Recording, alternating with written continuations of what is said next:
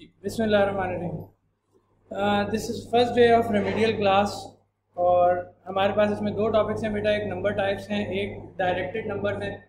Directed numbers किन्हें कहते हैं, इसके बारे में हम बाद में बात करेंगे सबसे पहले तो नंबर टाइप्स आपको पता है, जब हम बात करते हैं मैथ्स की तो मैथ्स कंसिडर ही नहीं की जाती वैन आपके पास कोई स्टेटमेंट लिखी हो और कोई नंबर हो ही ना।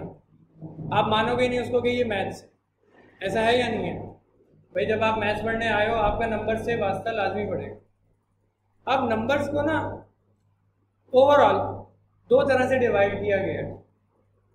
नंबर की दो बेसिक टाइप्स के बारे में पहले मैं आपको एक हिंट दे दूँ कि नंबर जो है ना, वो एक होते हैं रियल नंबर्स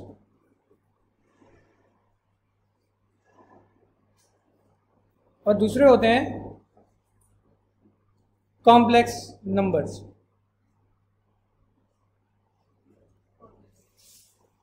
कभी आपने,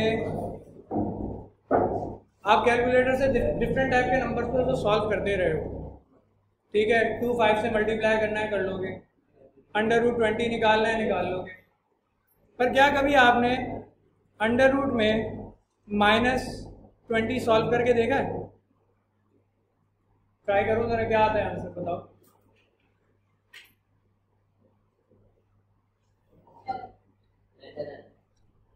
एरर आया सबके पास? क्यों? इसका रीजन ये है कि ये वो नंबर्स हैं जो आम मैथ से सॉल्व ही नहीं होते। इसीलिए इनको कॉम्प्लेक्स नंबर्स कहा जाता है। जो हमारे बेसिक रूल्स ऑफ़ मैथ से वो इन पे इम्प्लीमेंट नहीं होते। जब कभी रूट के अंदर नेगेटिव वैल्यू होगी तो वो हमारी नॉर्मल नंबर की कैटेगरी से बाहर निकल जाएगा। एंड हम उन्हें सॉल्व नॉर्मल मेथड से नहीं कर सकते।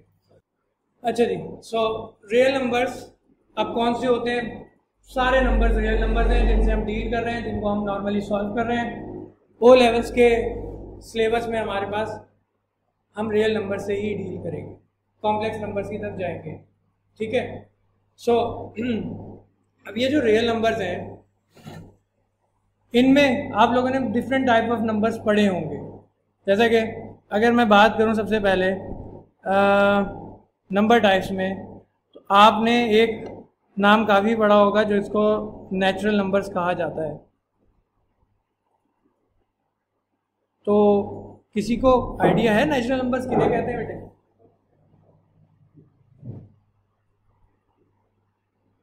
हम्म? भाई नेचुरल नंबर्स के लिए ना एक आम लफ्ज यूज़ किया जाता है। काउंटिंग नंबर्स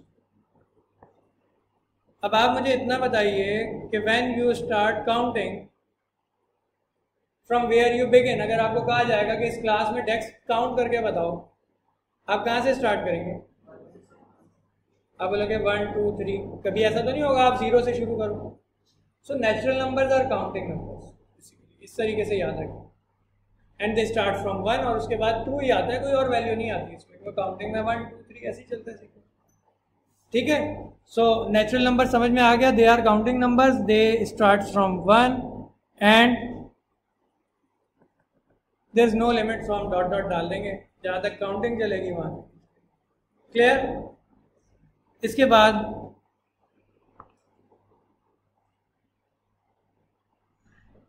सेकेंड इसके अंदर हमारे पास होते हैं whole number.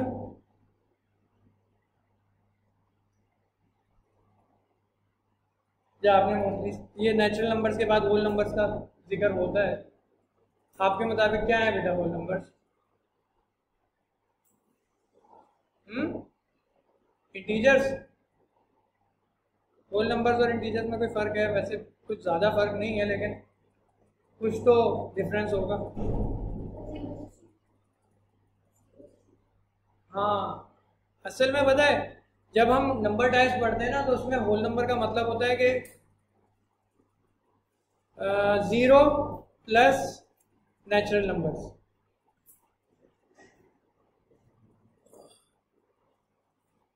whole numbers are zero plus natural numbers natural numbers में ज़ीरो को भी शामिल कर दिया जाए ना तो वो क्या बन जाते हैं?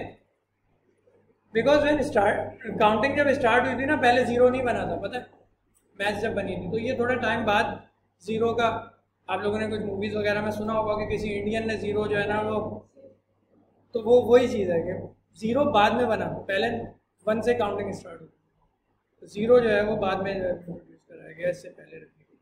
So it start from zero and then goes on one two three इस तरीके से बेटा ये चलता है ठीक है? नेचुरल नंबर्स हो गए होल नंबर्स हो गए। इसके अलावा आप लोगों ने नाम सुना होगा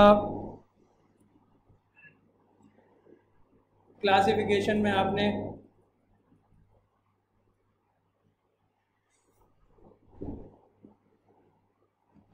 होल नंबर्स के बाद इवन ऑट पढ़े होंगे। इवन ऑट पता है क्या होते हैं? इवन नंबर्स कौन से होते हैं? ठीक है। तो आप इसको कैसे डिफाइन करते हो? मल्टीप्लाई बाय टू या डिविजिबल बाय टू है ना? मल्टीपल्स ऑफ़ टू या डिविजिबल ऑफ़ टू ठीक है।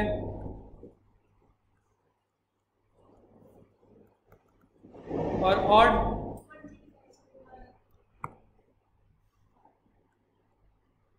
one three five seven मतलब ये कर लेंगे इवन को हटाने के बाद जो नंबर बच गए, है ना?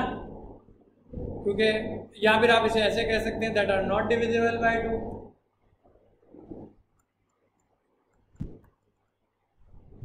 ठीक?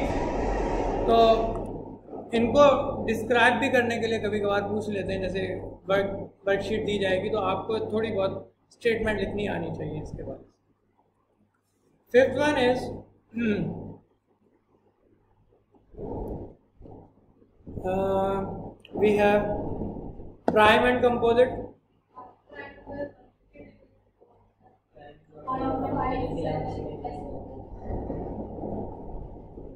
ठीक है प्राइम नंबर की ये डेफिनेशन भी ठीक है जो आपने बताई कि अपने अलावा किसी और के टेबल में नहीं आते, या तो वन में आते हैं वन में तो सारे नंबर आते हैं। या फिर इसको बेटा डिस्क्राइब किया जाता है विद के that has only two factors जिसके सिर्फ़ दो फैक्टर्स हों। One and the number itself two factors only ठीक है? One and the number itself.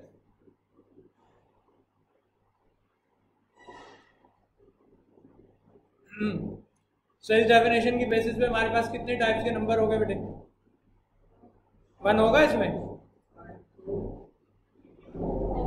One होगा? प्राइम नंबर में वन होगा? क्यों? क्या वन के दो फैक्टर्स हैं?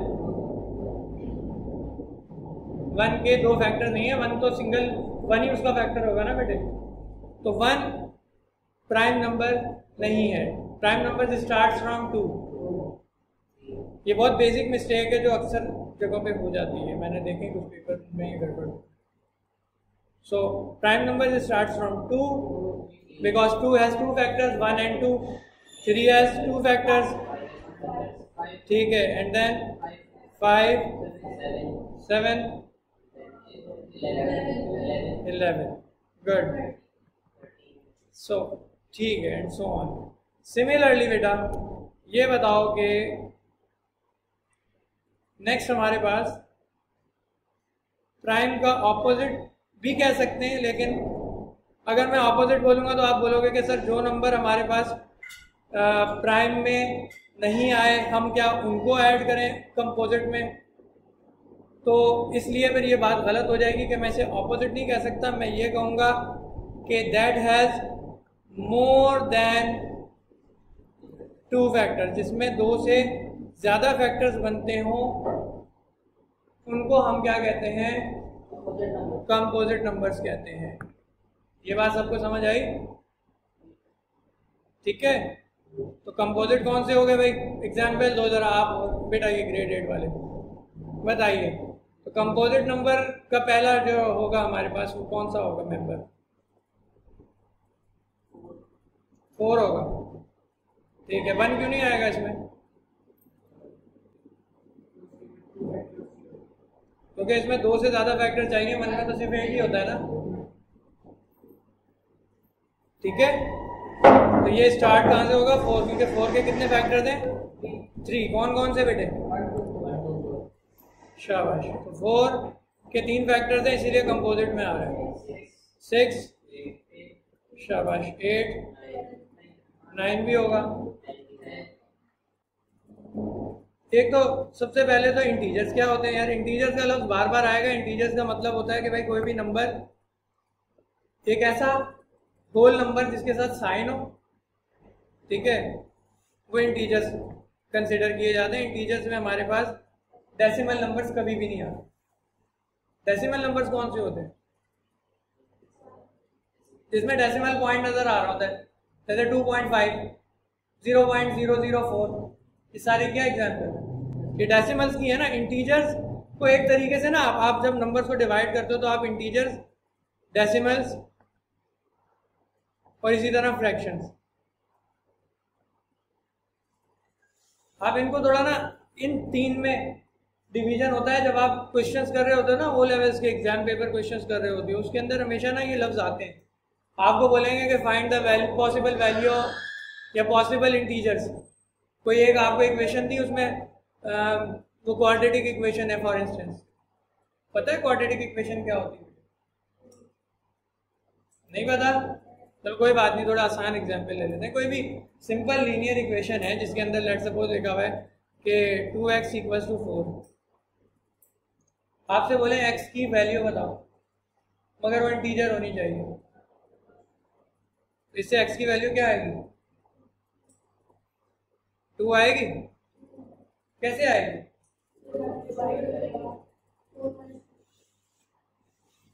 माइनस टू करेंगे? अब्दुल्ला डिवाइड करेंगे? अच्छा। चलो, कोई बात नहीं है, हमारे आगे मौजू आना है तो फिर हम उसी वक्त इसको ज़्यादा डेप्थ में जाकर डिस्कस करेंगे। फ़िलहाल, मैं आपसे ये बात कर रहा था, बेटा इंटीजर्स में डेसिमल्स में और फ्रैक्शन पे कैसे क्या फ़र्क है? कि कोई कोई भी होल नंबर है with its with a sign positive और negative that is considered as integer जैसे माइनस का फोर लिखा है इट्स एन इंटीजर प्लस का फाइव या सिर्फ़ फाइव भी लिखा हुआ है तो वो इंटीजर है प्लस साइन इज़ अंडरस्टूड अगर फाइव लिखा है तो उसके साथ प्लस होता है। ये बात अंडरस्टूड है, ये सबको पता है।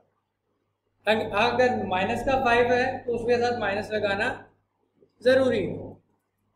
ठीक है? सो अगर माइनस ट्वेंटी है इट्स एन इंटीजर लेकिन अगर डेसिमल वैल्यू की बात करें तो डेसिमल में भी नेगेटिव पॉजिटिव साइंस होते हैं। ये नहीं होगा कि अगर माइनस का ज़ीरो पॉइंट फाइव है तो मैं इसे इंटीजर बोल दूँ बिकॉज़ इसके साथ माइनस साइन लगा हुआ ये एक बड़ा मिसकॉन्सेप्शन है। अगर माइनस देख के बंदा बोलेगा ये इंटीजर है, नहीं भाई। हम इंटीजर डेसिमल और फ्रैक्शन के अंदर ये फ़र्क रखते हैं कि ये तीनों आपस में समझ लो, एक दूसरे के जैसे हम डिफ्रेंशिएट कर रहे होते हैं ना। तो ये कैटेगरी में आते हैं number minus zero point five is a decimal containing negative sign decimal क्यों है? आपको इसमें डेसिमल पॉइंट नज़र आ रहा बात समझ आई? क्या नाम है बेटे आपका? खावत। समझ आ रहा है नहीं आ रहा? फ्रैक्शन क्या होती है? जिसमें हमारे पास हाँ एक जो है ना, वो अपॉन का साइन होता है। उसके ऊपर एक वैल्यू लिखी होती है, नीचे एक वैल्यू लिखी होती है। For instance one upon three लिखा हुआ है इट्स अ फ्रैक्शन अब फ्रैक्शन के बारे में मैं आज इतना ज़्यादा डिस्कस नहीं करूँगा, बस मैं आपको ये बता रहा हूँ कि भाई हमारे पास ये नंबर्स एग्जिस्ट करते हैं। इसकी अलग से हमारे पास जो है वो एक क्लास होगी, जिसके अंदर हम इसके रूल्स के बारे में बात करें। अभी बेसिक दो डिविजन्स हमारे पास बाकी हैं। और वो क्या है? जिस तरह मैंने आपसे कहा कि जितने भी नंबर्स हैं, हम उन्हें दो में तकसीम करते हैं। एक we divide them in real and complex complex are unsolvable by और normal calculation and normal calculator so वो हमारा फ़िलहाल कोर्स का पार्ट नहीं है, ठीक है? बट रियल नंबर्स जो होते हैं they are further divided into two categories number one rational and number two irrational इनकी डेफिनेशन जो लिखी गई है ना, जो आप अक्सर किताबों में पढ़ोगे रैशनल की कि मैं वो डेफिनेशन बताता हूँ आपको। वो डेफिनेशन ये बेटे कि that can be written in the form of P upon Q. और P और Q क्या होंगे? Where P and Q. Are integers and q is not equals to zero. क्या मतलब हुआ इसका? P अपॉन क्यू की फॉर्म क्या है भाई? अपॉन आ रहा है। क्या कहलाते हैं ये P upon Q P upon Q मतलब फ्रैक्शन रैशनल नंबर्स वो हैं जिन्हें फ्रैक्शन बनाया जा सके। इट इज़ नॉट नेसेसरी कि इस वक्त वो फ्रैक्शन की शक्ल में नज़र आ रहे हैं। ये ध्यान में रखिएगा यानी every number is a rational number that can be written in the form of fraction like two is two a rational number no why बेटा, इसे लिखा तो जा सकता है। Two is two upon one. Upon में वन लिख दू, कोई फ़र्क पड़ेगा? पर ये फ्रैक्शन तो बन गई ना। पी अपॉन क्यू की फॉर्म में आ गया। तो यहाँ पे लफ्ज लिखा हुआ है दैट कैन बी रिटर्न ये नहीं लिखा हुआ कि दैट इज़ रिटर्न हर वो नंबर जिसको फ्रैक्शन की फॉर्म में लिखा जा सके इज़ रैशनल ठीक है? हर वो नंबर जी तो आप टू को टू इज़ रैशनल वाई ये रैशनल है? क्यों? क्योंकि इसे फ्रैक्शन टू अपॉन वन बनाया जा सकता है। So zero point five is this rational yes Musavir zero point five rational है नहीं है? क्यों? What is 0.5 in the form of a fraction? 1 upon 2. जी बेटे, समझ आ रही है ये बात? लास्ट में. 0.5 रैशनल है तो क्यों है? वजह समझ आ रही है बेटे? क्यों है? क्योंकि ये बराबर है। वन अपॉइंट टू के दैट इज़ अ फ्रैक्शन अब इसको कन्वर्ट कैसे करना है? अगेन मैं आपसे कह रहा हूँ कि ये थोड़ा सा टॉपिक हम नेक्स्ट क्लासेस में डिस्कस करेंगे तो मैं अभी उस पर नहीं जा रहा हूँ, मुझे स्टिक टू द टॉपिक रहना है, ठीक है? आप लोगों के पास भी इतना ज़्यादा टाइम नहीं है, मुझे इससे जल्दी वाइंड अप करके कुछ क्वेश्चन जो आज का टारगेट है सेकेंड टॉपिक डायरेक्टेड नंबर उसकी तरफ़ आना है। फ़िलहाल, ये बात याद रखो कि जिस भी नंबर को फ्रैक्शन की शक्ल में चेंज किया जा सके दैट इज़ रैशनल और उसमें एक और शर्त यह है कि उसमें जो अपॉन में क्यू लिखा हुआ है वो हमेशा is not equal to zero वो ज़ीरो नहीं हो सकता। क्यों कहा है ऐसा भाई?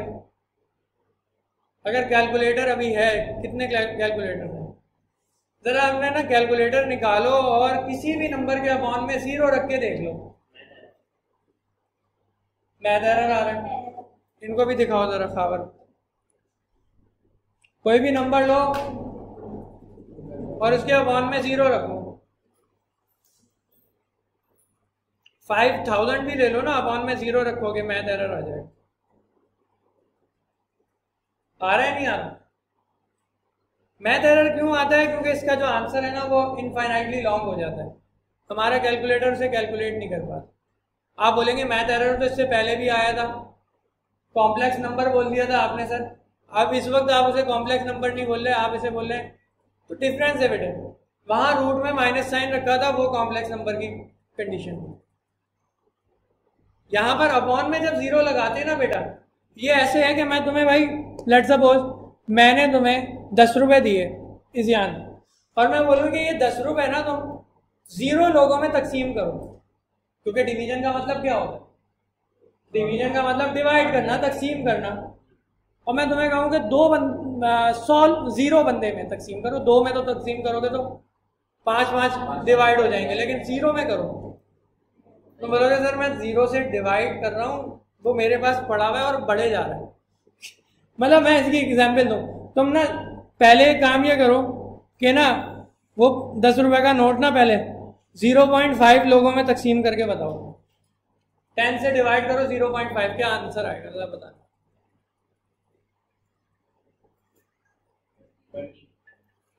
दस रुपए लिए थे डिवाइड करने पे बीस रुपए कैसे हो गए? हुए या नहीं? बेटा, यही चीज़ है इसमें। जब भी आप ज़ीरो से ज़ीरो से वन के दरमियान कोई भी वैल्यू डिवीज़न में रखोगे, तुम्हारा आंसर और बड़ा हो जाएगा। करके देख लो। तुम टेन को डिवाइड करो ज़ीरो पॉइंट ज़ीरो फाइव से।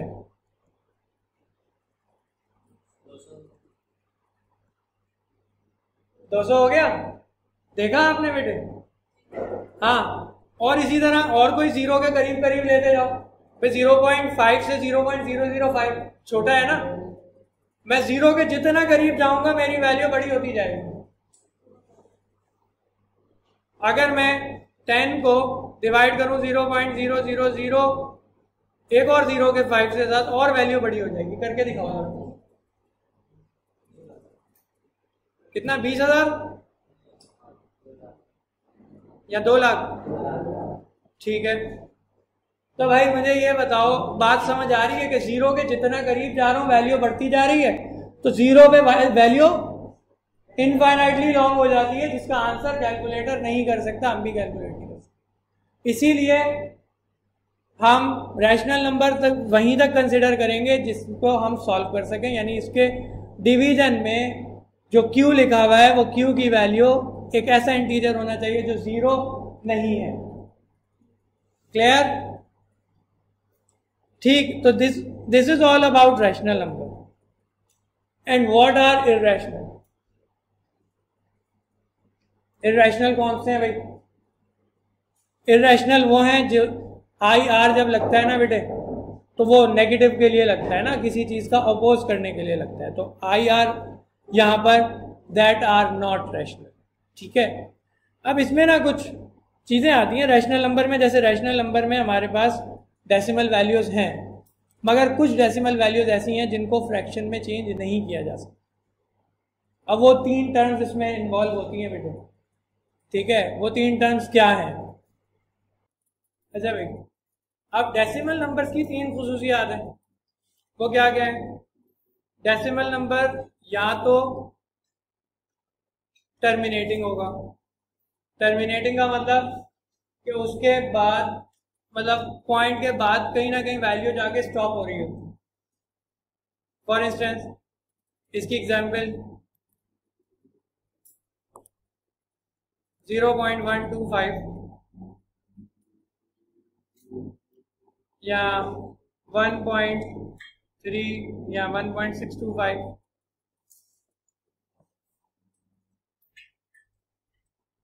कोई भी ऐसा डेसिमल वैल्यू जो तीन चार पाँच वैल्यू या कि लेट सपोज़ दस वैल्यूज़ के बाद भी जाके स्टॉप आ रहा है ना उसकी वैल्यू में। उसके पॉइंट के बाद वैल्यू रुक रही है डिवाइड कंप्लीटली हो रहा है। उसको हम क्या कहते हैं? टर्मिनेटिंग जैसे आपको बेसिक डिवीज़न आता है मैं अगर आपसे कहूँ कि भाई आ, आपको ना क्या करना है? आपको टेन को या बल्कि फाइव को डिवाइड बाय टेन कराना है। फाइव को डिवाइड बाय टेन कराना है डिवीज़न से करके दिखाओ नॉट एनी अदर मेथड तो फाइव यहाँ पर रखोगे? टेन आप इस तरीके से, यानी ये कौन सी पोजीशन होती है? ये डिविडेंड होता है जो अंदर रखा हुआ है फाइव और ये क्या होगा? डिवीजर होगा। तो आप बताइए जल्दी से, क्या आप इससे सॉल्व करना कैसे शुरू करेंगे? पहले ज़ीरो पॉइंट लगाना पड़ेगा ठीक है ज़ीरो पॉइंट लगा दिया क्या होगा? फिफ्टी बन गया ये और फिर फाइव तो हमारे पास टेन फाइव जार आ गया बेटे आंसर ये ज़ीरो पॉइंट फाइव पर कंप्लीटली डिवाइड हो गया। ठीक है? तो ये हमारे पास कौन सी एग्ज़ाम्पल है? ज़ीरो पॉइंट फाइव ये डेसिमल नंबर वो है जो टर्मिनेटिंग है। जिसका आंसर एक, एक पॉइंट पे जो है वो स्टॉप हो गया रुक गया। अब बेटे, इसी तरह टर्मिनेटिंग के बाद एक एग्ज़ाम्पल वो होती है जो टर्मिनेटिंग नहीं होते। ठीक है? There are numbers that are non terminating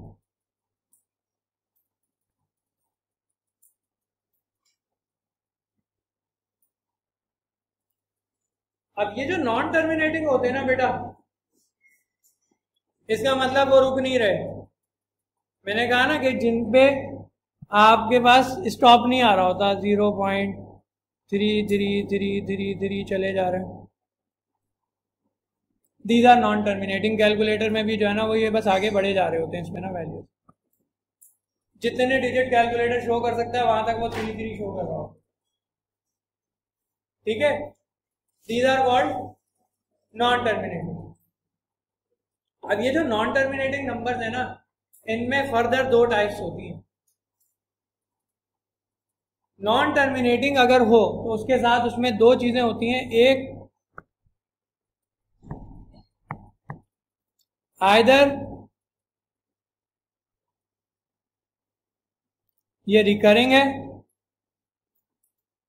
या फिर नॉन रिकरिंग है। सबको नज़र सही आ रहा है ना बच्चे क्लियर है विजन? किसी को परेशानी तो नहीं है? ठीक है।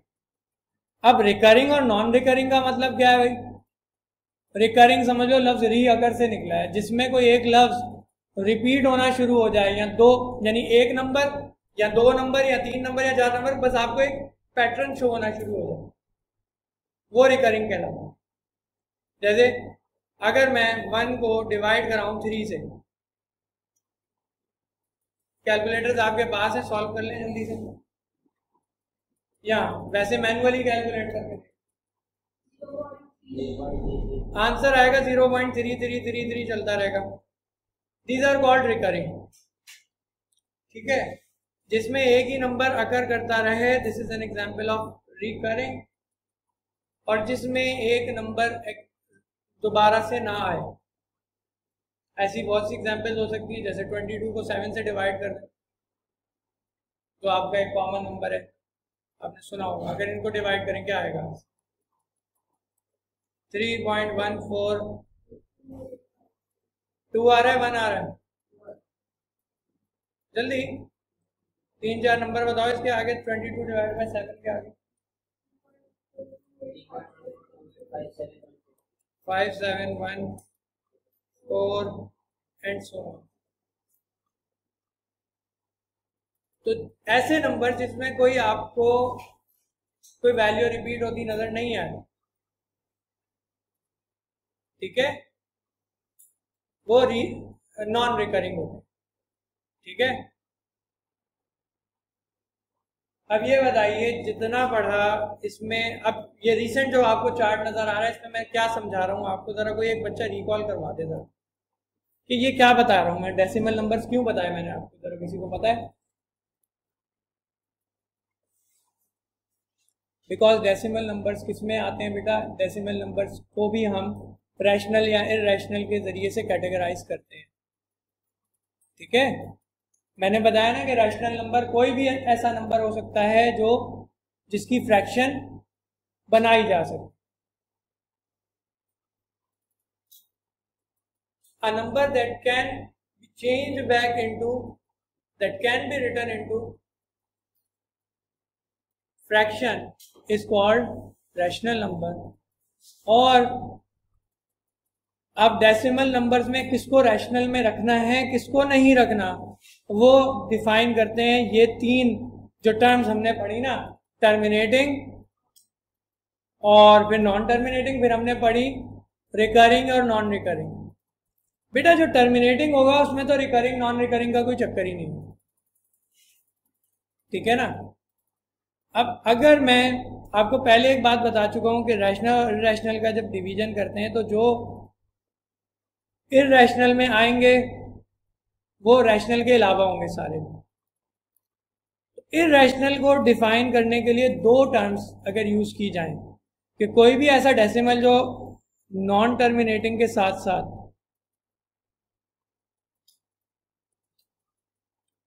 नॉन रिकरिंग भी हो।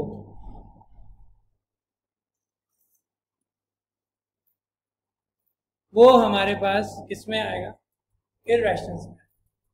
अब वो चाहे किसी फ्रैक्शन के थ्रू आए, चाहे स्क्वायर रूट के थ्रू आए, जैसे स्क्वायर रूट ऑफ़ टू निकाला जाए। स्क्वायर रूट ऑफ़ टू निकालो।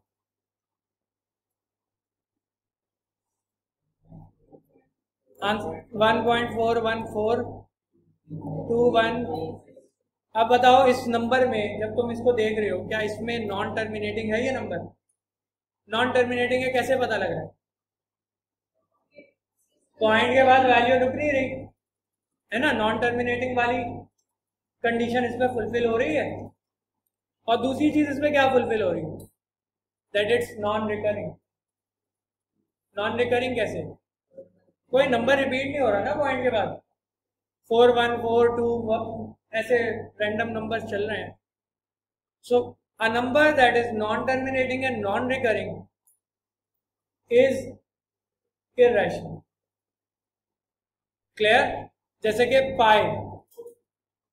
पाई की वैल्यू जो हमारे पास बताई जाती है ना ट्वेंटी टू बाई सेवन आप तो बोलोगे, सर, पाई की value twenty two by seven लिखते हैं हम लोग। तो वो तो फ्रैक्शन है। तो फिर इस हिसाब से तो ये क्या नाम है? इरेशनल नहीं होना चाहिए क्योंकि रैशनल तो वो होता है जिसे आप फ्रैक्शन बना सको। ये तो ऑलरेडी फ्रैक्शन फॉर्म में मिल रहा है। भाई, मसला ये है कि पाई की वैल्यू एक फ्रैक्शन तो है, मगर ये जो सॉरी गलत बोल गया मैं। पाई की वैल्यू ये एस्टिमेटेड वैल्यू है जो फ्रैक्शन है। पाई की एक्चुअल वैल्यू अगर आप चेक करना चाहो ना तो आप कैलकुलेटर में शिफ्ट दबा कर ना पाए का सिंबल आ रहा होगा आप उसको डायरेक्टली दबाओ और उसके बाद इक्वल टू दबाओ। आपके पास पाई की जो एक्चुअल वैल्यू आएगी ना वो three point four one two नहीं आएगा फोर वन समथिंग कुछ और आएगा। Three point one four one five है ना? जबकि तुम ट्वेंटी टू बाई सेवन करते हो तो क्या आता है? Three point one four two आता है। इसका मतलब it is an estimated value it is not the exact value so pi is a rational is an irrational ठीक है? तो इसको वापस चेंज बैक करना ना इसको in the form of fraction मुमकिन नहीं। ठीक है? सो so, अब मैं फर्दर आपको नहीं पढ़ाऊँगा। अब फ़िलहाल अब आप मुझे ये बताओ कि रैशनल की डेफिनेशन के मुताबिक, क्या प्राइम नंबर रैशनल है? जी। प्राइम नंबर रैशनल है?